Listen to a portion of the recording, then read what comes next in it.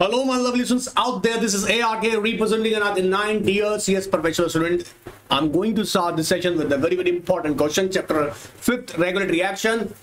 हाँ हम लोग कंटिन्यू कर रहे हैं पार्ट थर्ड है याद रखना क्लास थर्ड है ठीक है तो क्लास फ़र्स्ट सेकंड नहीं देखा है भाई कब कब देखोगे एग्ज़ाम की बाद अरे अभी जाके देखो यार ऑलराइट वेट मत करो फटाफट से कंप्लीट करो अब सुनो फटाफट से यहाँ पर एक इंपॉर्टेंट क्वेश्चन दे रहा हूँ, क्योंकि आपके कुछ क्वेरीज थी, उसके अकॉर्डिंग यहाँ देखिएगा, जैसे मैंने प्रॉमिस किया था कि क्लास के साथ साथ मैं कुछ केस लॉस भी आपको बताऊँगा, कुछ क्वेश्चन भी बताऊँगा, ताकि आपको सॉल्व करेंगे, फिर हम बाद में टेस्ट के थ्रू और क्वेश्चन देंगे आपको, ठीक है? तो देखो क्वेश्चन देखते हैं फटाफट से। Amit a head of production department has alleged guilty of fraud the management of the company इधर ध्यान दो, इधर इधर इधर, भाई, इधर ध्यान दो। The management of the company has decided that till the completion of investigation against the Amit, he must be suspended. You are required to examine the action of the management, provided provide your answer with the relevant provision of the Companies Act 2013. Sir sir sir sir sir sir sir sir sir क्या करना है इसका क्या करे बेचारा अमित अभी allegation लग गया है उसके ऊपर क्या वो हेड ऑफ़ डिपार्टमेंट है ऑल राइट गिल्टी किस बात के कह रहे हैं फ्रॉड का इन्वेस्टिगेशन चल रहा है अभी ऑल राइट ठीक है। सर अब क्या करना है? ध्यान सुनना। एक इंपॉर्टेंट चीज़ समझना। इसके लिए आज हम लोग सीखेंगे section 218 of Companies Act 218 of Companies Act section 218 कहता है कि अगर किसी भी एम्प्लॉय या कंपनी का ऐसा पर्सन जो मैनेजमेंट या उस कंपनी के ऑफकोर्स कंपनी का अफेयर्स को मैनेज करता है और उसके खिलाफ कोई इन्वेस्टिगेशन चल रहा है या प्रोसीडिंग्स अभी पेंडिंग है, ऐसे केस में उस एम्प्लॉय को किसी भी तरीके से डिस्चार्ज नहीं कर सकते हैं डिसमिस नहीं कर सकते हैं सस्पेंड नहीं कर सकते हैं, या उसकी टर्म ऑफ़ एम्प्लॉयमेंट में चेंज नहीं कर सकते हैं। सर क्या क्या नहीं कर सकते हैं? सुनो ध्यान से वापस। क्या नहीं कर सकते? मान लीजिएगा, जैसे यहाँ केस में अमित के लिए एक्शन लिया गया है क्या मैनेजमेंट ने कहा भाई इसको? हम क्या करना चाहते हैं? ही मस्ट बी सस्पेंडेड तो क्या सस्पेंड किया जा सकता है during the investigation answer is no section 218 कहता है मैनेजमेंट डायरेक्टली एम्प्लॉय को सस्पेंड नहीं कर सकता डिस्चार्ज नहीं कर सकता। क्यों सर क्यों? अरे भाई इन्वेस्टिगेशन चल रहा है। इन्वेस्टिगेशन चल रहा है, ये प्रोसीडिंग्स पेंडिंग है अभी। तो आप उसको सस्पेंड नहीं कर सकते। आंसर को ऑथेंटिकेट करेंगे हमारे सेक्शन 218 से। जो मैं बोल रहा हूँ सेक्शन 218 में बोला गया है। अभी पढ़ाऊँगा यार, चिंता मत करो। पहले याद तो कर लो, ठीक है? सर मतलब ये तो गड़बड़ है ना इन्वेस्टिगेशन तो पता नहीं, अभी तीन महीने, चार महीने अगर चल गया तो तो ये तो आदमी अगर फ्रॉड निकला तो ये तो गड़बड़ है सर और मेरे पास फैक्ट्स हैं सर प्रूफ्स हैं फैक्ट्स विद प्रूफ्स हैं। क्या करूँ सर कोई बात नहीं, एक काम करना होगा। कंपनी या जो भी मैनेजमेंट है ना, वो क्या करेगा? ट्रिब्यूनल को एप्लीकेशन देगा। सुनने ध्यान से ट्रिब्यूनल को एप्लीकेशन देगा और वो कहेगा कि अमित को सस्पेंड किया जाना चाहिए, उसके उसके ग्राउंड्स वो बताएगा कि सर ये फैक्ट्स हैं और ये उसके साथ के एविडेंसेस हैं। अब ट्रिब्यूनल अगर सेटिस्फाइड हो गया तो ट्रिब्यूनल अपना ऑर्डर दे देगा, ठीक है भाई सस्पेंड कर दो। लेकिन याद रखना, अगर ट्रिब्यूनल को आपने एप्लीकेशन लगाया और ट्रिब्यूनल ने थर्टी डेज़ तक कोई रिस्पॉन्ड नहीं किया, कब तक? From the date of filing of application thirty days तक आपने वेट किया और ट्रिब्यूनल से आपको कोई रिस्पॉन्ड नहीं मिला। सस्पेंड कर दो। जी हाँ ये भी प्रोविज़न लिखा हुआ है सेक्शन 218 में। क्या अगर किसी एम्प्लॉय को ड्यूरिंग द इन्वेस्टिगेशन और पेंडिंग ऑफ़ द प्रोसीडिंग्स के टाइम पर डिसमिस किया जा रहा है, ये डिस्चार्ज किया जा रहा है सस्पेंड किया जा रहा है, मेरे साथ बोलो भाई डिसमिस किया जा रहा है डिस्चार्ज किया जा रहा है सस्पेंड किया जा रहा है और क्या कर सकते हैं? या उसके टर्म्स ऑफ़ एम्प्लॉयमेंट में चेंज किया जा रहा है। ऐसे केसेस में सबसे पहले कंपनी को या मैनेजमेंट को ट्रिब्यूनल की एप्लीकेशन देके अप्रूवल लेना पड़ेगा। मतलब company has to file application before tribunal before suspending और डिसमिसिंग और डिस्चार्जिंग और change in terms of term of employment of the particular employ जिस, जो यहाँ पर बोला गया है। कंसर्न जो भी एम्प्लॉय है, जहाँ मतलब जो भी का मतलब जो गिल्टी ऑफ़ फ्रॉड है। ठीक है? अब अगर मान लो तुमने थर्टी डेज़ एप्लीकेशन का वेट किया, तुमको कोई रिस्पॉन्ड नहीं आया, तुम डिसमिस कर सकते हो उसको। दूसरी बात, अगर रिस्पॉन्ड आ गया और ट्रिब्यूनल ने तुम्हारी बात को नहीं सुना ट्रिब्यूनल ने कहा, बकवास मत मत करो, जाओ। अब क्या होगा सर तो अगर आपको लगता है मतलब मैनेजमेंट को या कंपनी को लगता है कि आप सेटिस्फाइड नहीं है with the judgment of NCLT in that case of course किसके पास जाओगे? एपेलेट ट्रिब्यूनल एनसीएलटी के पास जाओगे, और एनसीएलटी का जो भी फैसला होगा, वो फाइनल होगा। उसके आगे कोई अपील वपील नहीं है, याद रखना। मतलब आप सुप्रीम कोर्ट चले जाएँगे, ऐसा कुछ नहीं है, उसके बाद अपील नहीं है। मतलब लॉ मेकर्स ने सेक्शन 218 में फाइनल जो डिसीज़न मानेंगे, हम लोग मानेंगे एनसीएलटी का। क्लियर हो रहा है? ऐसा सिंपल सिंपल सा क्वेश्चन अगर तुम सॉल्व कर लोगे मज़ा नहीं आ जाएगा अब बोलो अभी क्वेश्चन आए हुए क्वेश्चन है वो बता रहा हूँ तुमको। सो so, आओ देखो। Protection of employ during the investigation section 218 आइए मेरे साथ में अपने मेड्यूल खोल लीजिएगा। मेड्यूल से ही पढ़ने का रिवाज है हमारे यहाँ पर। नए स्टूडेंट्स को कह रहे हैं बात पुराने वाले तो बहुत अच्छे से समझ गए होंगे इस बात को।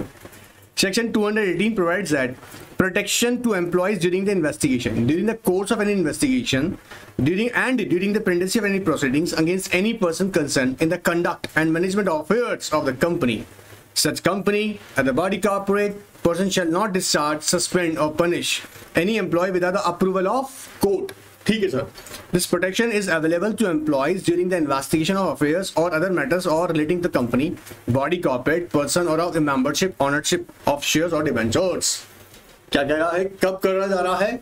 या तो वो क्या कर रहा है? जब इन्वेस्टिगेशन चल रही है इन्वेस्टिगेशन किस लिए चल सकती है? इन्वेस्टिगेशन चल सकती है कंपनी के अफेयर्स को नो, जानने के लिए, या किसी बॉडी कॉर्पोरेट के अफेयर्स को जानने के लिए, या किसी पर्टिकुलर पर्सन की ऑनरशिप जानने के लिए। या ये बात पकड़ में आ रहा है मेंबरशिप को जानने के लिए। तो ऐसे केसेस में जब भी जब भी इन्वेस्टिगेशन चल रहा है, और किसी पर्टिकुलर एम्प्लॉय का उसमें इन्वॉल्वमेंट माना जा रहा है, ऐसे केस में उसको उठा के सस्पेंड नहीं कर देंगे आप, unless until you take the approval from the tribunal. So, following actions are not permitted without the approval of tribunal. क्या क्या एक्शन परमिटेड नहीं है? एग्जामिनर हो सकता है इस बार आपको कुछ और ग्राउंड दे दे। जैसे आप डिस्चार्ज नहीं कर सकते discharge spend of an employ याद करो ना मेरे साथ में बोलो। तो discharge or suspend any employee to punish any employee whether by dismissal removal reduction in rank or otherwise अब क्वेश्चन में हो सकता है रैंक घुमा के आपको दे दे। पकड़ पा रहा है, उसका रैंक डिमोट कर दिया गया है उसको। ऐसा भी नहीं हो सकता। और to change the terms of employment to is disadvantage या चेंज नहीं कर सकते इसमें टर्म ऑफ़ एम्प्लॉयमेंट में। जो डिसएडवांटेज ही नहीं है ठीक है? डिसएडवांटेज है तब जो फेवरेबल है तो अच्छी बात है ना। बहुत पकड़ मारा है। और राइट आगे देखता है, देखो। ना if applicant does not receive within 30 days of making an application or approval of tribunal, only then applicant consent may proceed to take action against the employee. और पकड़ में आ रहा है अगर आप देखो समझो कंपनी ने मैनेजमेंट ने एप्लीकेशन लगाया ट्रिब्यूनल को कि भाई इसको हम, हम चाहते हैं इसको डिसमिस किया जाए अब लेकिन अगर ट्रिब्यूनल ने थर्टी डेज़ में कोई रिस्पॉन्ड ही नहीं किया जाओ ऐश करो जाके डिसमिस करो क्लियर हो रहा है Now, if applicant is dissatisfied with the objection raised by the tribunal, it may, within a period of 30 days of the receipt of the notice of the objection, prefer an appeal to the appellate tribunal and reason of the appellate tribunal on such appeal shall be final and binding on the parties concerned. Dissatisfied हूँ। I am not satisfied with the judgment of the NCLT NCLT ने गड़बड़ कर दिया है। अब देखो यहाँ पे क्या है? देखो समझना। एनसीएलटी ने ये कहा, भाई, नहीं, इसका सस्पेंशन नहीं होना चाहिए। तो कहाँ आप अप्रोच करेंगे? एनसीएलटी में। टाइम पीरियड कितना बोल रहा है? Within thirty days thirty days का मतलब क्या है? जब से आपने नोटिस रिसीव किया है, कहाँ से रिसीव किया है? एनसीएलटी से। एनसीएलटी ने ऑब्जेक्शन किया कि नहीं, इसको सस्पेंड नहीं किया जाएगा। तो आप कहाँ जाएँगे? मैनेजमेंट कहाँ जाएगा? बोलो बोलो बोलो बोलो एनसीएलटी कितना टाइम पीरियड में? Thirty days alright and NCLT का जजमेंट फाइनल ही माना जाएगा. समझना, इसके आगे सुप्रीम कोर्ट नहीं जा सकते हो तुम. ऑल राइट सर अब क्या करना है? आगे देखते हैं. आई होप ये बात पकड़ में आया होगा. सेक्शन कौन सा यहाँ पे हमने याद रखना है? सेक्शन 218 218 याद रहेगा? चलिए. आगे देखते हैं नेक्स्ट टॉपिक बीच बीच में ना आप लोगों को क्वेश्चंस ऐसे दूँगा. हर एक चैप्टर के साथ डिस्कस करूँगा। याद रखना, ये क्लासेस के टाइम पे रहेगा। टेस्ट सीरीज़ के अंदर तो प्रैक्टिस करवाना ही है बहुत सारे क्वेश्चन और कर ही रहे हो यार। चलिए। अच्छा कुछ स्टूडेंट का जिनका टेस्ट सीरीज़ रोक दिया था, आज से स्टार्ट कर दिया वापस। अब आगे गलती ना करें, कोई टेस्ट मिस ना करें। ठीक है, मेरे को ये नहीं चाहिए कि आप लोगों के देखो, समझो यार, आप लोगों के अच्छे मार्क्स आएँगे ना, मुझे ही खुशी होने वाली है। आपको तो होगी होगी, मुझे बहुत खुशी होगी, ठीक है? सो मैं चाहता नहीं कि आपके टेस्ट रोकी जाए, लेकिन अगर आप कंटिन्यू नहीं करेंगे और आप कैजुअल बिहेव करेंगे तो यार देखिएगा यू नो वॉट आपके लिए अच्छा नहीं है, ना इंस्टीट्यूट के लिए अच्छा है। सो कंटिन्यू टेस्ट अपनी अटेंड करते रहें। Seizure of the documents by inspector section 220 seizure अच्छा हम जानते हैं एक बात जब सीज की बात आती है ना यूजली ऐसा कब हो रहा है जब मैटर थोड़ा सा सीरियस हो जाता है। सर सीरियस हो जाता है मतलब अरे एक बात बताओ। कोई डॉक्यूमेंट्स हैं बुक्स हैं पेपर्स हैं, है ना? अकाउंट्स हैं कंपनी के। अब आपको लग रहा है इंस्पेक्टर को लग रहा है कि कहीं ना कहीं कुछ गड़बड़ हो सकती है। गड़बड़ कैसे हो सकती है, समझना। वो बुक्स में या अकाउंट्स में या पेपर्स में डॉक्यूमेंट्स के अंदर फॉर्म्स के अंदर, किसी भी तरह का अगर मान लीजिएगा चेंज कर दिया गया, है ना, जिसे उसे डिस्ट्रॉय कर दिया गया मिचुलेटेड कर दिया गया, या अल्टर्ड कर दिया गया तो जो एक्चुअल एविडेंस था, वो तो खत्म ही हो जाएगा। तो ऐसे केसेस में जब भी यहाँ पे स्ट्रांगली बिलीव होगा बिलीव का मतलब यहाँ पे नहीं कि मैं बिलीव कर रहा हूँ। उसके पास ऐसे फैक्ट्स होंगे सेकंड चांसेस और उसको कहीं ना कहीं बात इंडिकेट कर रहे होंगे इंस्पेक्टर को कि वो डॉक्यूमेंट चला दिए ना जाए, खराब ना करे जाए, फाड़ ना दिया जाए, उनमें चेंज ना कर दिया जाए। ऐसे केसेस में वो क्या करेगा? सीज के लिए रिक्वेस्ट करेगा, और रिक्वेस्ट किसको करेगा? कंपनी को नहीं कोर्ट को। ठीक है? ऑर्डर लेके सीज करेगा। आओ देखते हैं। In case of an investigation the inspector has reasonable ground to believe that books papers to any company, body corporate, managing director, manager of the company, are likely to be destroyed, mutilated, altered, falsified, or secreted. secreted.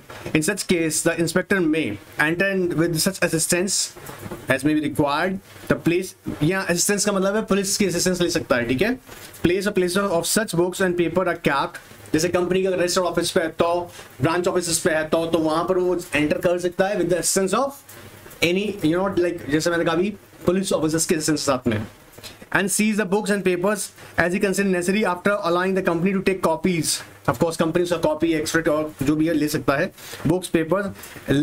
cost of for the purpose of its investigation all right sir now Inspector shall keep in his custody हम जानते हैं कितना up to the conclusion of investigation as he consider necessary and thereafter shall return the same to the person from whose custody of paper were seized all right now The inspector may, before returning the books and papers, take copies of the extract from the, of course, and the place identification of mark. Of course, identification mark का मतलब क्या होता है भाई समझो अगर मान लीजिएगा उसने पर्टिकुलर कंपनी के बैलेंस शीट चेक करी है तो बैलेंस शीट अगर जो भी चेक करी होंगी उसमें अपना साइन एंड सिग्नेचर जी हाँ साइन सिग्नेचर करके मेंशन करेगा ताकि किसी भी तरीके से कुछ में आगे चेंज ना हो सके ठीक है और on them or any part thereof or deal with such you know same in the manner as to be considered necessary. अब यहाँ पर जब भी हम सीज की बात करते हैं, आपको याद होगा ना सीआरपीसी सर्च एंड सीज का प्रोविज़न अप्लाई हो जाएगा। अच्छा याद रखना, फिर बोल दूँ। सीज की अथॉरिटी डायरेक्ट नहीं होती है। आप कहीं समझे कि डायरेक्टली जाके कर दिया। नहीं you have to take the order from the court बात पकड़ में आ रहा है? क्या हो रहा है? लेकिन उसके लिए आपको स्ट्रांगली बताना पड़ेगा कोर्ट को सर, ऐसा गड़बड़ है। आइए। Freezing of assets of company on inquiry and investigation मज़े की बात है, यहाँ पर खतरनाक रूल आने वाला ट्राइब्यूनल का सेक्शन 221 कहता है, क्या कुछ ऐसे चांसेस को देखा जाएगा ग्राउंड को देखते हुए ट्राइब्यूनल ऑर्डर पास कर सकता है कि एसेट्स को या सिक्योरिटीज को फ्रीज कर देना फ्रीज का मतलब यहाँ पे क्या है कि भाई एक टाइम की एक तरह से रिस्ट्रिक्शन इंपोज कर देना ताकि आप उन्हें एसेट्स को या सिक्योरिटीज को ट्रांसफ़र ना करें। क्योंकि देखो, किसी सब्जेक्ट मैटर का जो एक्चुअल एग्जिस्टेंस है, उसका जो आज प्रेजेंट स्टेटस है, अगर वही डिस्टर्ब हो जाएगा तो इन्वेस्टिगेशन या इंक्वायरी एग्जैक्टली कैसे कंडक्ट हो पाएगी? आप एक बात सोच कर देखो, आप एज्यूम करके देखो आप कह रहे हो कंपनी ए के पास में, कंपनी ए लिमिटेड इसके पास में प्रॉपर्टी एक्स है। ठीक है? अब ये प्रॉपर्टी एक्स जो है, इसे जो खरीदा गया है, वो कंपनी ए लिमिटेड के डायरेक्टर से खरीदा गया डायरेक्टर उसमें इंटरेस्टेड है। ठीक है? ऑलराइट सर और कम दामों में खरीदा गया था। ठीक है सर अब यहाँ पर अगर मान लीजिए प्रॉपर्टी एक्स को उठाकर किसी और को ट्रांसफ़र कर देगा फर्दर ठीक है? अब प्रॉब्लम क्या आएगा कि जो उसका प्रेजेंट स्टाटस है, वो एज इट इज़ नहीं रहेगा। ऐसे केसेस में फ्रीज कर दिया जाता है। सेम ऐसे ही सिक्योरिटी के केसेस में क्या होता है, ताकि क्या हो सके? सब्जेक्ट मैटर डिस्टर्ब ना हो सके। आ देखते हैं। The tribunal on reference made to it by the central government ठीक है sir in connection with any inquiry investigation to affairs of a company कैसे कैसे चीज़ों को कौन से करेगी? ट्रिब्यूनल या तो करेगी on the reference of the central government या किसी भी इंक्वायरी इन्वेस्टिगेशन के टाइम में उसको लग रहा है या on complain made by member on section 244 या क्रेडिटर क्रेडिटर भाई साहब जिनकी, जिनका आउटस्टैंडिंग बैलेंस वन लाख है, वो शिकायत कर रहा है या any other person having a reasonable ground to believe क्या ट्राइब्यूनल ऐसे कुछ पाँच ग्राउंड्स हैं जहाँ पर, ध्यान सुनना मेरी बात को, जहाँ पर क्या करेगा? फ्रीज कर सकता है कंपनी के सेट्स को या सिक्योरिटीज को, ठीक है? पहला ग्राउंड क्या हो सकता है? तो पहले क्या हो सकता है? सेंट्रल गवर्नमेंट की रिक्वेस्ट पे। सो यहाँ पे कह रहे हैं on the reference made to by central government बोलो मेरे साथ में। सेंट्रल गवर्नमेंट का रेफरेंस पर बोलो सेंट्रल गवर्नमेंट का रेफरेंस पे।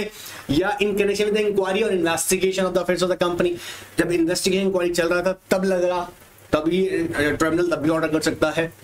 या फिर कोई मेंबर सेक्शन 244 के अंदर अप्लाई किया कि सर सर प्लीज़ फ्रीज करवाओ, ये सब कुछ गायब कर देंगे नहीं तो। एंड या क्रेडिटर कर सकता है बट क्रेडिटर के लिए कंडीशन क्या लगा दिया कि at least one lakh rupees उसका आउटस्टैंडिंग हो। है ना? दस, बीस हज़ार, पचास हज़ार रुपए वाला मामला नहीं हो, कम से कम एक लाख से ज़्यादा। तो यहाँ पे रखा है at least creditor having one lakh rupees outstanding against the company वही आगे अपनी अच्छा ऐसा नहीं है कि सुनो, एक बात और इंपॉर्टेंट है कि एक लाख रुपए अगर उसका आउटस्टैंडिंग है और वो कोर्ट जाके मतलब ट्रिब्यूनल पहुँच गया, चलो फ्रीज करवा दो जी। ऑफकोर्स नॉट ट्रिब्यूनल आप समझ रहे हैं ना, सारे फैक्ट्स को कंसिडर करने के बाद ही ऑर्डर पास करता है। ये तो कंडीशन रखा जा रहा है कि ऐसे इतना क्राइटेरिया होना चाहिए।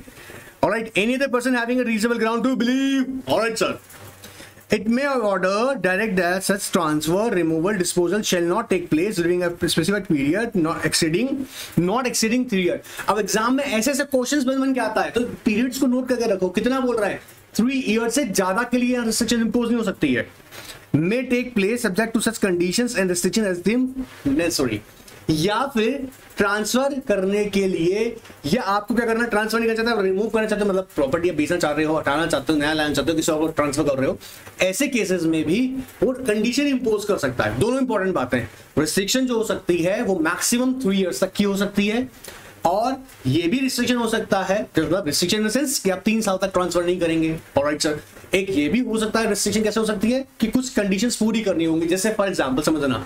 कि आपको अगर कोई भी प्रॉपर्टी बेचनी है तो ट्राइब्यूनल ने, मान लीजिए कि एनसीएलटी यहाँ पर एक पर्टिकुलरली ऑफिसर अपॉइंट करेगा, आपको इसकी ऑफिसर की अप्रूवल लगेगी।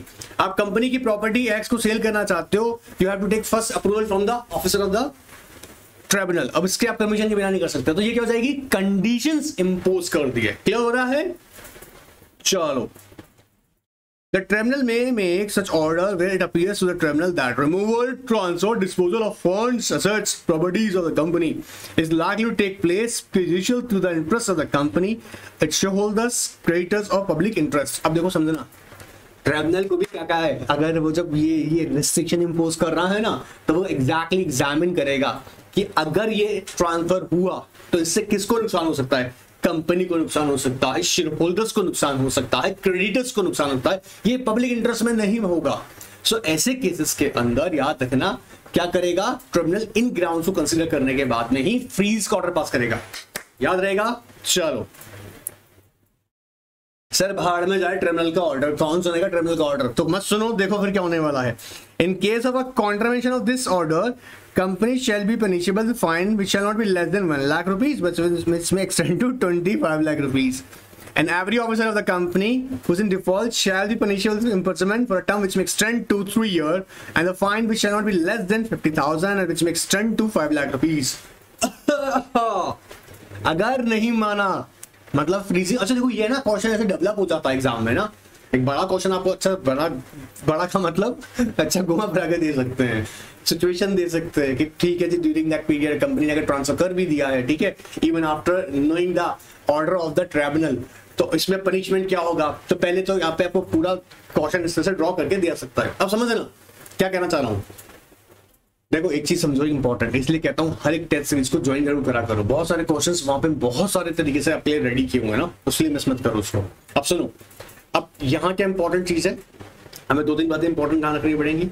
ट्रिब्यूनल ने फ्रीजिंग का ऑर्डर पास किया। उसके लिए कुछ कौन कौन का बेसिस पे? मतलब या तो सेंट्रल गवर्नमेंट ने रेफरेंस दिया है, या फिर मेरे साथ बोलो ना, याद करो एक बार सेंट्रल गवर्नमेंट के रेफरेंस पर, या इन्वेस्टिगेशन इंक्वायरी के टाइम पर लगता है एनसीएलटी को, या फिर मेंबर ने सेक्शन 244 के अंदर रिक्वेस्ट किया हुआ है। Creditor having outstanding 1 lakh rupees towards the company उसने रिक्वेस्ट किया हुआ है। या कोई ऐसा किसी भी पर्सन ने किया जहाँ पर उसको लगता है विजिबल ग्राउंड है, किसको रोकना चाहिए। किस लिए कर रहा है? टू ताकि इंटरेस्ट प्रोटेक्ट हो सके किसका शेयर होल्डर्स का। क्यों रिस्ट्रिक्शन लगा रहे हैं? ताकि शेयर होल्डर का इंटरेस्ट प्रोटेक्ट हो सके क्रेडिटर का इंटरेस्ट प्रोटेक्ट हो सके, बोलो ना। या पब्लिक का ऑफ़ कोर्स पब्लिक भी इन्वॉल्व है कंपनी का। ताकि ये रिस्ट्रिक्शन से लगा दे कि आप ट्रांसफ़र ना कर सको रिमूव ना कर सको। क्लियर हो रहा है?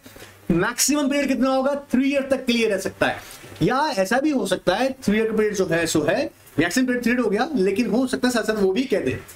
मतलब एक तो रिस्ट्रिक्शन ट्रांसफ़र नहीं करने देंगे तीन साल मैक्सिमम हो गया। या आप ट्रांसफ़र कर सकते हो you know what? But but but but but but uh, you have to fulfill याद रहेगा।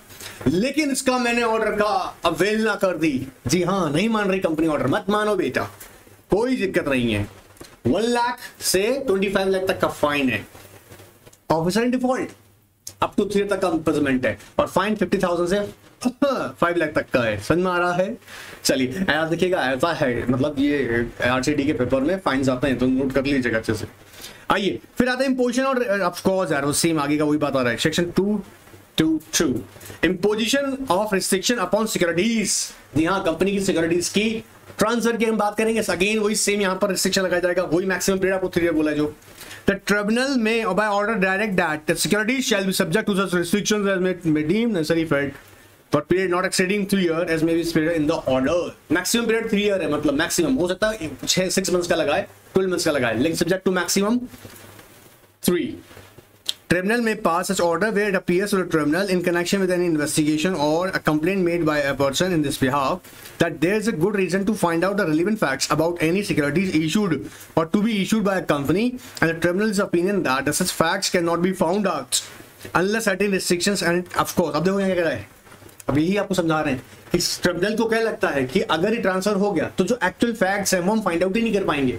सो so, ऐसे केसेस में वो रिस्ट्रिक्शन लगा रहा है ताकि इन्वेस्टिगेशन जब चल रही है और अगर सब्जेक्ट मैटर ही समझना सब्जेक्ट मैटर ही अगर डिस्टर्ब हो जाएगा सिक्योरिटी सिक्योरिटीज ट्रांसफ़र कर दिया तो सब्जेक्ट मैटर डिस्टर्ब हो गया। तो कह रहे हैं इन्वेस्टिगेशन को प्रॉपरली हो, इसलिए वो रिस्ट्रिक्शन इंपोज कर रहा है। चाहे वो असेट्स है तो आप ट्रांसफ़र नहीं कर पाएँगे सिक्योरिटी है तो ट्रांसफ़र नहीं कर पाएँगे। याद रहेगा?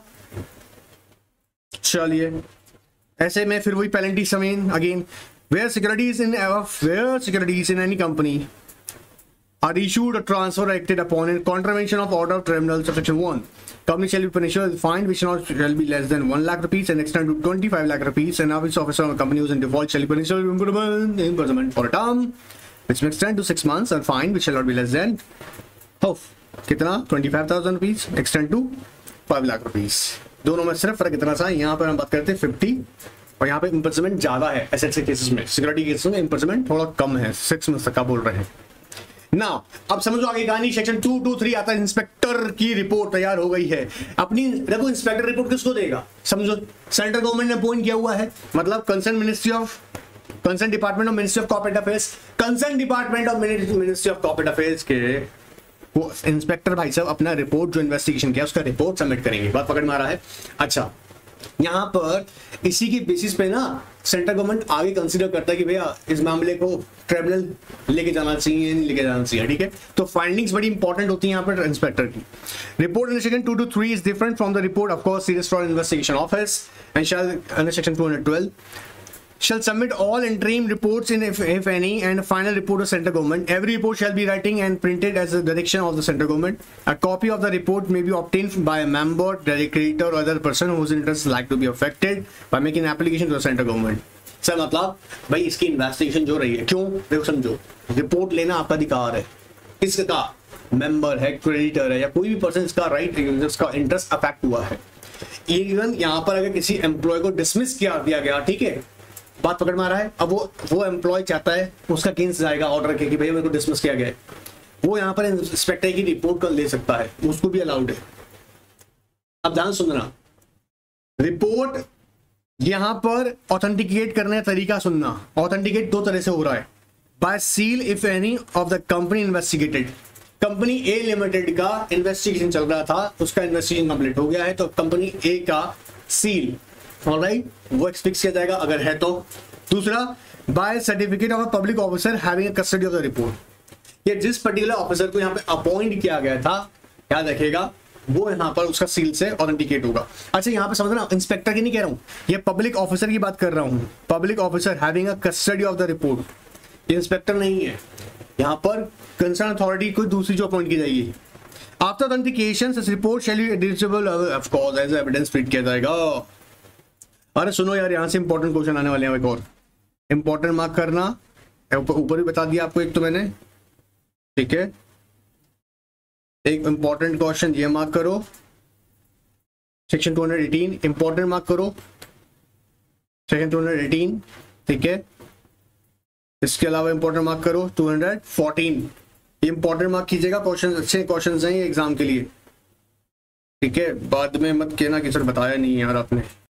चलो, देखो देखो देखो देखो देखो, हट गया यार। ओके ध्यान सुनना। जब हम बात कर रहे हैं follow up action on report आपने अभी एक चीज़ सीखी ना, कि सेक्शन टू टू थ्री के अंदर इंस्पेक्टर अपना रिपोर्ट सबमिट करता है सेंट्रल गवर्नमेंट को। अब सेंट्रल गवर्नमेंट क्या करेगा? On the basis of report देखो, उसके पास ये ऑप्शन है कि वो ट्रिब्यूनल पहुंचेगा। और जो भी रिपोर्ट के अकॉर्डिंग से वो पर्सन है यहाँ पर, जो भी पर्सन है यहाँ पे, अगर लगता है कि भैया वो फ्रॉड किया हुआ है या वो कहीं ना कहीं लाबल है क्रिमिनली लाइबिलिटी क्रिमिनल लाइबिलिटी बन रहा है, ऐसे केसेस में याद रखिएगा, वो ट्रिब्यूनल को एप्लीकेशन देगा। ट्रिब्यूनल को एप्लीकेशन देगा और उस पर्टिकुलर पर्सन के खिलाफ क्या? प्रोसिक्यूशन प्रोसिक्यूशन स्टार्ट की जाएगी। बात पकड़ में आ रहा है? और फिर सेंट्रल गवर्नमेंट रिक्वेस्ट करेगा कि कंपनी को वाइंड अप किया जाए, या सेक्शन 241 के अंदर एप्लीकेशन मतलब सेक्शन 241 जी हाँ application for relief in case of oppression इसके लिए फ़ाइल करेंगे ट्रिब्यूनल में एप्लीकेशन ठीक है? या दोनों ही ऑर्डर पास कर सकता है। बहुत सिंपल सा बात है उनका देखो, central government may prosecute any person appear to be guilty based on the report made by the inspector under section 230 223 it shall be duty of all officer employ of the company body corporate give central government necessary assistance in connection with the और उसके बाद देखो आगे का step क्या है? On the base of the report central government may cause to be present to the tribunal a petition for winding up of the company body corporate ground on just and equitable या 241 के अंदर। मतलब application to N C L T for relief ये पढ़ाया था, याद होगा relief in case of oppression O double P R E double S I O N गंदा लिखा है, इसलिए स्पेल आउट कर दिए हैं ताकि आप लिख लें, ठीक है? राइट चलिए, अब क्या होगा? वाइंडिंग प्रोसीडिंग्स फॉर रिकवरी दो ऐसी ग्राउंड्स हैं जो वहाँ पर वाइंडिंग अप प्रोसीडिंग्स इनिशिएट की जाएँगी। मतलब सेंट्रल गवर्नमेंट कंपनी का नेम पर वाइंडिंग अप का पिटिशन लगाएगा एनसीएलटी में। सुनो ना सेंट्रल गवर्नमेंट किसका? कंपनी का नेम के नेम पर। मतलब जैसे सपोज़ करो, हमारे यहाँ पे जूम करते हैं बार के लिए। A limited A limited company है। अब सेंट्रल गवर्नमेंट ए लिमिटेड के नाम से एनसीआरटी में वाइंडिंग अप का पिटिशन लगाया। किसका? वाइंडिंग अप का पिटिशन लगाएगा सर वाइंडिंग अप पिटिशन क्यों लगा रहा है? रिकवरी के लिए मेरे भाई। रिकवरी रिकवरी समझो ना recovery recovery recovery of damages recovery of damages क्या चक्कर है भाई? चल जाओ रिकवरी ऑफ़ damages? या रिकवरी ऑफ़ प्रॉपर्टी भाई, जो डैमेजेस हुए उनकी रिकवरी के लिए, क्योंकि भैया अवर्निंग अपटिशन लगाओ, वही अगेन कलेक्ट करो उसका सेट्स जिन का नुकसान हुआ उनको भरपाई करो।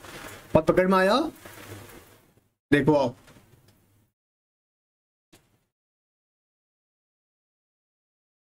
Central government may itself bring a proceeding for winding up in the name of a company or body corporate for recovery of damages या फॉर रिकवरी ऑफ़ प्रॉपर्टी दो ग्राउंड है. फॉर रिकवरी ऑफ़ डैमेजेस या recovery of property वापस for recovery of damages of property in respect of any fraud misfeasance और other misconduct in connection with promotion of course formation और management of the affairs of the company और body corporate और recovery के किसमें अगर देखा? Property में. So body corporate of course company body corporate which has been misapplied wrongfully retained बात पकड़ में आ रहा है सरकार हमारी प्रॉपर्टी रख रखी है कंपनी कह रहा है तो कंपनी का प्रॉपर्टी ऑफ़ कोर्स क्या कह रहा है वो क्या करा जाएगा यहाँ पे जो कि मिसअप्लाइड की गई है या रॉन्गफुली रिटेन कर रखी है The central government may itself bring proceedings for a winding up in the name of such company or body corporate. Central government shall be indemnified by the company or body corporate against the costs or expenses incurred by it in connection with any proceedings of winding up. Of course, जो भी खर्चा आएगा अभी ये होता है आपको याद भी होगा ना जब आपने वाटरफॉल अरेंजमेंट पढ़ा होगा वाटरफॉल अरेंजमेंट पड़ा होगा, जब वाइंडिंग अप होती है, उसके बाद में लोगों को पैसा बांटा जाता है, जिन्होंने ले रखा है,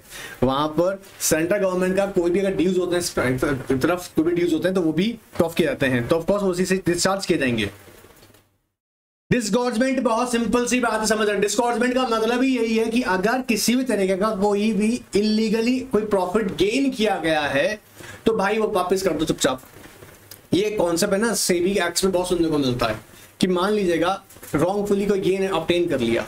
किसी भी कंपनी के डायरेक्टर ने मैनेजमेंट के किसी पर्टिकुलर पर्सन ने एम्प्लॉय ने। तो पहला डिस्गॉर्जमेंट के अंदर ये कॉन्सेप्ट आ जाता है कि जो जो आपके पास आ गया है ना आपने कोई प्रॉपर्टी बना ली है आपने कोई पैसा बना लिया है डिस्गॉर्जमेंट का मतलब है उसको उठा के वापस करना पड़ेगा। पेनल्टी सेलेंटी जो लगे वो अलग है। बात पकड़ मारा है? In case of a fraud, undue advantage benefit, central government may file an application before tribunal to pass appropriate order with regard to disgorgement of the assets property और कैश अब जिसके पास में वो प्रॉपर्टी या कैश असेट्स है उससे वापस ले ली जाए। The central government may also file application before tribunal for holding directors company officer other person personally liable without any limitation of liability ये सबसे खतरनाक है। Without any limitation of liability मतलब अब जान निकाल देंगे यहाँ पर समझ में आ रहा है? Without any limitation of liability मतलब डिसगॉर्जमेंट के थ्रू मतलब किसी भी डायरेक्टर ने के ने एम्प्लॉय ने, मान लीजिएगा कंपनी का एसेट्स या कैश या प्रॉपर्टी रखा हुआ है, वो तो वापस करना ही है प्लस पर्सनल लाइबिलिटी और अदराइज हो जाएगा Disgorgement का means क्या है? Is an act of giving up something such as a profit obtained by illegally or unethical acts on demand or by legal compulsion. The court can order wrongdoer to pay back to the prevent unjust enrichment. Disgorgement is a civil remedy, not a punishment or punitive civil action. Simple बात रखना it's ये कह रहा है यहाँ पर एक तरीके की सिविल रेमेडी है जो आपने देखो रेमेडी का मतलब क्या होता है डिस्गॉर्जमेंट का मतलब यहाँ पे स्पेसिफिकली बोलूँ कि आप कॉम्पनसेट करें आप एक बात समझना आपको पता भी होगा उम्मीद कर रहा हूँ जब हम सिविल किसी मैटर को कहते हैं सिविल मैटर है या हम कहते हैं क्रिमिनल मैटर है तो एक बेस्ट तरीका क्या है आइडेंटिफाई करने का? जिन मैटर में आपको कॉम्पनसेट करना पड़ रहा है, वो सिविल नेचर का है। और जिन मैटर में पनिशमेंट की बात हो रही है, वहाँ पर क्रिमिनल नेचर है। अब ध्यान सुनना, ये ये इंटरप्रिटेशन का डिटेल में जाकर समझोगे ना थोड़ा, और क्लैरिटी हो जाएगा। बट समझना डिस्गॉर्जमेंट में आपका जिनका नुकसान हुआ है इसलिए कॉम्पनसेट करना है। बात पकड़ मारा है, इसलिए सिविल रेमेडी है not a punitive action punishment नहीं है। The purpose of such remedy as in security cases is to deprive the wrongdoer of his or her illegal gotten gain and to deter the violation of the law. बात समझ मारा है क्या कर रहा है रॉन्ग डूअर क्या नहीं कर सके उसका बेनिफिट ना ले सके दूसरा लॉ वायलेशन उनसे बचे बात पकड़ में आया ठीक है सर खर्चा हो गया इन्वेस्टिगेशन का कौन भरेगा देखो, क्या होता है इन्वेस्ट जब इंस्पेक्टर ना इन्वेस्टिगेट करता है तो ऑफकोर्स एक्सपेंसेस इंकर्ड होते हैं, ठीक है? कई सारे एक्सपेंसेस इंकर्ड होते हैं ट्रैवलिंग एक्सपेंसेस इंसर्ट होते हैं इंकर्ड होते हैं। यूनिवर्सिटी लगता है, इसके अलावा आपको फाइल्स कलेक्ट करना होता है, ठीक है? कई जगह आपको डॉक्यूमेंटेशन के लिए फ़ी पे करना पड़ता है असिस्टेंस के लिए फ़ी पे करना पड़ता है। तो ऐसे केसेस में ऑफकोर्स इंस्पेक्टर अपना पॉकेट से पे कर रहा है बट वो रिमबर्स हो जाते हैं कहाँ से? सेंट्रल गवर्नमेंट से मिल जाते हैं। बट क्या सेंट्रल गवर्नमेंट इसी काम के लिए बैठा हुआ है? ऑफकोर्स नॉट तो सेंट्रल गवर्नमेंट भाई, वो कंपनी से या जो पर्सन है यहाँ पे इन्वॉल्व मैटर के अंदर, उससे रिकवर करेगा। अब ध्यान सुनना मेरी बात को। ध्यान सुनना। सिंपल सा टॉपिक है। मान लीजिएगा, कंपनी ए लिमिटेड के खिलाफ कार्रवाई चल रही थी। ठीक है? और याद रखो भाई अना के नाइन के व्हाट्सएप स्टेटस पे मैं बार बार डलवाता रहता हूँ आपके लिए कुछ ना कुछ नए केसेस वगैरह। वहाँ पढ़ रहे हो, नहीं पढ़ रहे हो, मुझे बताना ठीक है? नहीं पढ़ रहे हो तो फिर गड़बड़ कर रहे हो। प्रैक्टिकल क्लास साथ में कुछ ना कुछ अपडेट डालता हूँ वहाँ पे। पढ़ा करो उनको, ठीक है? अच्छा नॉलेज मिलेगा। क्योंकि क्लास का ड्यूरेशन इतना है कि मुझे कुछ स्पेसिफिक बात बता सकता हूँ आपको। पूरा बताऊँगा तो एक टॉपिक बताने में तीन घंटे निकल जाएगा। आओ, देखो समझो। ए लिमिटेड कंपनी है, ठीक है? इसके खिलाफ इन्वेस्टिगेशन इनिशिएट किया गया है। इंस्पेक्टर भाई साहब आ गए इन्वेस्टिगेशन कर रहे हैं। अब जो भी एक्सपेंसेस यहाँ पर हो रहे होंगे इन्वेस्टिगेशन रिलेटेड वो ऑफकोर्स अपना पॉकेट से पे ऑफ़ कर रहे हैं। तो ये क्या चाहेंगे? सेंट्रल गवर्नमेंट से। सेंट्रल गवर्नमेंट इनको इनका जो भी एक्सपेंसेस किया उसको पे ऑफ़ कर देगा। सेंट्रल गवर्नमेंट किससे लेगा? आप ध्यान सुनना। या तो जो पर्सन ऑफकोर्स जिसके खिलाफ प्रोसिक्यूशन हुआ और फाइनली पता लगा कि जी हाँ ये ही गिल्टी है तो ऑफकोर्स वो लाइबल होगा भरने के लिए। कंपनी है तो कंपनी लाइबल होगा। या कोई कंप्लेनेंट है। सुनो ना कोई कंप्लेनेंट है। तो कंप्लेनेंट ने भाई तुमने कहा है तो भाई तुम भरपाई करो उसकी इसकी ठीक है? अब ध्यान सुनते हैं ना इंपॉर्टेंट क्या चीज़ बताना चाह रहा था। देखो सेंट्रल गवर्नमेंट है ना यहाँ पर पे, पेमेंट तो करेगा पर एक पेमेंट को वो सेंट्रल गवर्नमेंट नहीं करेगा। कौन सा? अगर मान लीजिएगा एक कंप्लेनेंट है मेंबर है ठीक है या क्रेडिटर है उसने कंप्लेंट फ़ाइल करी है। और उस मामले में इन्वेस्टिगेशन चल रहा है, ठीक है? उसने आके भैया इन्फॉर्मेशन दिया गवर्नमेंट को गवर्नमेंट गवर्नमेंट भाई, आप जाके इन्वेस्टिगेट करो। गवर्नमेंट आपको याद होगा सेक्शन 214 पढ़ा था हमने। सेक्शन 214 क्या कहता है कि आपको सिक्योरिटी डिपॉजिट करनी पड़ेगी। आपको याद आ रहा है उम्मीद करो याद होगा 50 करोड़ तक का turnover ten thousand rupees आपको सिक्योरिटी डिपॉजिट करना पड़ेगा। 50 करोड़ से टू तक का है तो आपको फिफ्टीन थाउज़ेंड और मोर देन अगर आपका टू करोड़ से ज़्यादा का टर्न ओवर तो ट्वेंटी फाइव थाउज़ेंड मैक्सिमम आपको सिक्योरिटी डिपॉजिट करना पड़ता है तो सेंट्रल गवर्नमेंट ये वाला पैसा नहीं ये वाला तो आपको देना ही पड़ेगा ठीक है अब देखो आओ The expenses of or incidental to investigation by an inspector other than expenses of inspection under section 214 उसको हटा दिए कौन सा for payment payment of security in respect of cost of uh, you know cost and expenses of investigation बात पकड़ में आ रहा है payment of security shall be deferred in the first instance by the central government and such expenses incurred by the central government shall be reimbursed by the following persons कौन कौन को देना पड़ेगा रे पहला कहता है any person convicted on prosecution instituted मतलब जिसके खिलाफ प्रोसिक्यूशन स्टार्ट हुआ और उसको जेल हुआ है मतलब ये बात हो गया और who is order to pay the damages या स्पेसिफिकली ऑर्डर किया गया है कन्विक्शन मैंडेटरी नहीं है कन्विक्शन नहीं हुआ है बट अगर एनसीएलटी ने ऑर्डर दिया है तब भी तो फोकस रखना कन्विक्टेड है तो ऑर्डर पास किया तो या restore any property in proceedings to the extend that he may the same proceedings to be recorded to pay the said expenses as he specified by the court, convicting the person, ordering him to pay such damages or restore the property. दूसरा आता है company body corporate in whose names proceedings are brought to the extent of the amount और value of any sums of property recovered कब? जब अगर central government ने मेरे भाई वाइंडिंग अप का एप्लीकेशन लगाया और और वाइंडिंग अप का सारा खर्चा कौन कर रहा है यहाँ पर सेंट्रल गवर्नमेंट तो ऑफ़ कोर्स जिस कंपनी के नेम से लगाया गया है बॉडी केट कॉर्पोरेट के नेम से पिटीशन फ़ाइल की गई है before ten senti in respect of winding up तो याद रखिएगा वहाँ से रिकवर होगा, ठीक है?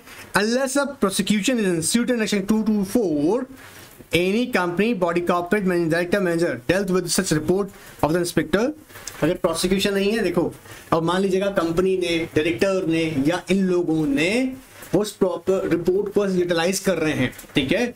तब वो लोग, और द एप्लीकेंट्स अच्छा किसी से खर्चा है, सर, ये? अरे भाई रिपोर्ट इंस्पेक्टर ने इन्वेस्टिगेशन किया, उसका खर्चा कौन भरेगा? बहुत पकड़ मारा है। Applicants for the investigation where the inspector was appointed second 2013 to the extend as the central government may direct क्या हो रहा है? ये 213 के अंदर ही सिक्योरिटी वाला बात किया था, याद आ रहा होगा। सिक्योरिटी मतलब मेंबर गेटर पर्सन कंसर्न अप्लाई कर सकता है सिक्योरिटी डिपॉजिट करके, ठीक है? ना any amount for which a company or body corporate is liable under clause B shall be first charged in the sums or any property mention अभी B किसके लिए कह रहा है यहाँ पर अरे यार हटो ठीक है What's nonsense is this? Yes, this one. क्या हुआ चलिए ना इंपॉर्टेंट मार्क कीजिएगा सेक्शन टू टू सिक्स को इंपॉर्टेंट मार्क कीजिएगा very very important very very important mark कीजिएगा। इन्वेस्टिगेशन चल रहा है, बोला, कहाँ चलने दो, काम करो कंपनी कंपनी बंद करो, दुकान बंद करो, निकल लो बोला है ऐसे नहीं जाने देंगे। Voluntary winding up of company not to stop the investigation and investigation may be initiated and no in of course investigation shall be stop और suspended by reason of that application has been made in two hundred forty one कि भैया, हमने two hundred forty one में company winding up के लिए application लगाया हुआ है, ठीक है? तो कृपया करके इन्वेस्टिगेशन को बंद किया जाए of course not the company has pass special solution for voluntary winding up share holder majority ने सोचा, सुनो अच्छा मौका है, बंद करने का बंद करो, भागो। एस आर पास कर लिया वॉलंटरी वाइंडिंग अप के लिए चिंता मत करो। यहाँ पर इन्वेस्टिगेशन नहीं रुकने वाला है। या any other proceedings for winding of the companies is pending before the pending नहीं लिखा हुआ है पेंडिंग है, ठीक है? पेंडिंग नहीं है पेंडिंग बिफोर ट्रिब्यूनल पेंडिंग है तब भी। ठीक है? तीन सिंपल से केसेस है भाई। 241 के अंदर एप्लीकेशन लगा रखा है। कोई फ़र्क नहीं पैदा। इन्वेस्टिगेशन तो चलेगा चलेगा। या आप सोच के देखिएगा एस आर पास कर रखा वॉलंटरी पेंडिंग आपके लिए, तब भी इन्वेस्टिगेशन चलेगा कंटिन्यू या पेंडिंग है proceedings inspector winding up before the NCLT but still investigation will be going on alright where a winding up order is pass by tribunal but sir अगर मान लीजिए ट्रिब्यूनल तो ऑर्डर पास कर दिया, फिर क्या होगा? चिंता मत करो लाइबिलिटी फ्री बना के रखेंगे। The inspector shall inform the tribunal about the pendency of investigation proceeding before him and tribunal shall pass the order as it in fit but अगर फिर भी हो गया तो ये देखो नीचे क्या मज़े की बात बोलता है। Nothing in in the winding up order shall absolve any director, employee, or company from participating in the proceedings before the inspector, any law liability or result as a finding of the inspector.